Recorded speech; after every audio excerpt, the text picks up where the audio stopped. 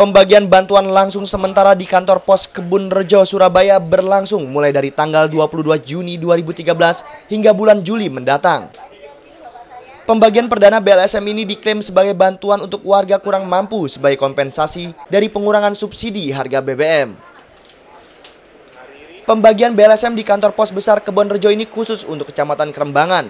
Terdiri dari lima kelurahan, Kelurahan Kerembangan Selatan, Kemayoran, Perak Barat, Dupa, dan Moro Kerembangan.